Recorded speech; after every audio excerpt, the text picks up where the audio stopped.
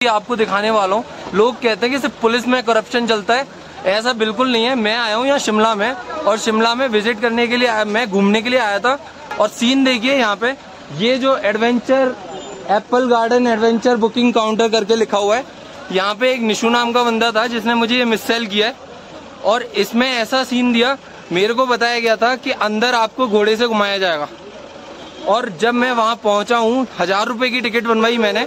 उसके बाद वहाँ जाने के बाद मुझसे बोलते हैं कि पैदल पैदल जाओ। तो भाई जिस जिसको लगता है ना कि हिमाचल प्रदेश में शिमला में कोई मिस सेलिंग नहीं होती है कुछ भी नहीं होता है तो मैं आपको बता देना चाहता हूँ जितने लोग जो भी एक लाख डेढ़ लाख जो दो लाख लोग जुड़े हुए हैं मेरे साथ अभी वो सारे के सारे इस वीडियो को शेयर करना और ज़्यादा से ज़्यादा लोगों तक ये बात पहुंचाना कि कितने लोग मिस सेलिंग करते हैं ये। ठीक है भाई? अरे हेलो गाइज़ तो मैं आज आपको कुफरी के उस सच के बारे में बताने वाला हूँ, जो जनरली आपने सुना नहीं होगा, लेकिन जो लोग यहाँ पर आ रहे हैं, उन सभी ने यहाँ पे ज़रूर फील किया होगा। तो जो जो कुफरी या शिमला में आने की प्लानिंग कर रहे हैं और सोच रहे हैं कि एडवेंचर करेंगे वहाँ पे जाके, या फिर हॉर्स राइड करेंगे, या फिर कहीं घूमेंगे तो मैं आपको बता दे रहा हूँ, भाई टिकट वगैरह मत लेना। जो भी बाहर टिकट बेच रहे हैं, उनसे सिर्फ़ घोड़े की टिकट लेना अगर उन्होंने कहा कि अंदर घुमाने के भी मैं टिकट दे दे रहा हूँ, उसके तो भाई उसकी टिकट को नहीं लेना है। मतलब ज़बरदस्ती की लूट है ये। तो हर कोई सोचता है कि करप्शन सिर्फ़ पुलिस वाले करते हैं। नहीं भाई, पुलिस वाले नहीं करते हैं। पुलिस वाले तो बहुत अच्छे हैं जो हमारी सुरक्षा करते हैं। भाई, यहाँ पर आओ वो व्यक्ति जिसने मेरे से जिसने मेरी टिकट बनाई थी, जब मैंने उससे ये सारी बातें बोली कि भाई मेरे को तो अंदर कोई भी घुमाने के लिए नहीं लेके गया, तुमने मुझसे बोला था कि घुमाने के लिए लेके जाएँगे और मेरे को, मेरे रुपए वापस चाहिए। तो वो मुझसे इस तरह से बोल रहा था कि ऐसा है, शांति से निकल जा, वरना मैं और तरीके भी जानता हूँ। तो मतलब एक तो चोरी और ऊपर से धमकी और दे रहा था मेरे से।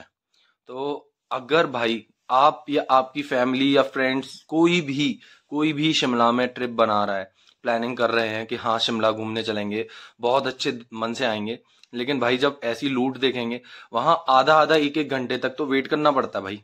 घोड़ों की पाँच सौ रुपए एक पर्सन की लेते हैं, फिर वहाँ पे वेट करो। तो मैं आपको टिकट दिखा देता हूँ, एक मिनट रुको। ऐसी टिकट बनाएँगे वो आपकी।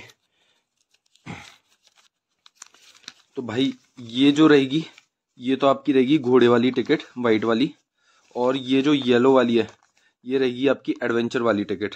तो एडवेंचर वाली टिकट को बिल्कुल मत लेना, वहाँ पे सिर्फ़ और सिर्फ़ लूट है। जो घूमने वाली टिकट है, जो जिसमें ये बोलेगा वो आपसे कि अंदर घुमाने का पाँच सौ रुपए भाई, घुमाने, कोई नहीं जाता घुमाने, आपको खुद ही पैदल पैदल चढ़ना है, खुद ही पैदल पैदल उतरना है, बहुत ऊंचाई है, बहुत चढ़ाई है। तो जिन, जो लोग नहीं चढ़ पाएँगे उनके लिए कोई नहीं सोचता। वो सब पैसे पैसे की एक लूट है। भाई, ज़्यादा से ज़्यादा लोगों तक ये बात पहुंचाना, शिमला कुफरी में अगर आना है, घूमने आना है तो ये टिकट, घोड़े वाली टिकट जो बनवाए, वो भी अपने रिस्क पे ये बनवाए कि आधा घंटे तक वेट कर सकते हैं कि नहीं कर सकते। वरना धमकियाँ देने वाले यहाँ पे बहुत हैं। लोकल के बंदे हैं, वो सीधे सीधे धमकी देते हैं। भाई तो एडवेंचर वाली टिकट बिल्कुल मत लेना। एडवेंचर के लिए पास में ही एक एडवेंचर पार्क है, वहाँ से ले लेना। ये वाली टिकट जो यहाँ कुफरी में बिल्कुल पार्किंग के पास में जो लोग देते हैं, वो बिल्कुल मत लेना, वहाँ पे घोड़ों की तमाम भीड़ मिलेगी आपको।